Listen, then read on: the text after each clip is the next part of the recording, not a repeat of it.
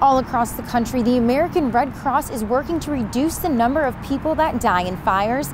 And here in Greenwich, volunteers with the American Red Cross installed smoke detectors in Byram homes. Seven times a day, someone in this country will lose their life to a home fire. We went to 12 residents.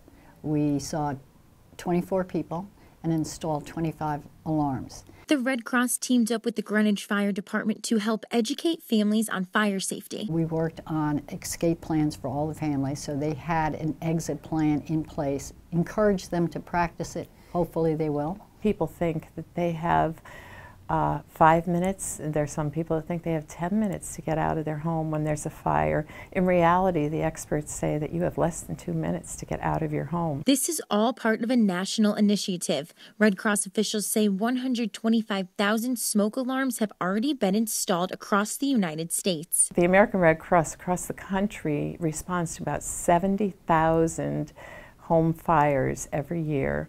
And for us to be able to be saving lives, I mean, that's what we're all about. The Red Cross also tells us that they will do in-home installations upon request, but they need volunteers to help with this initiative.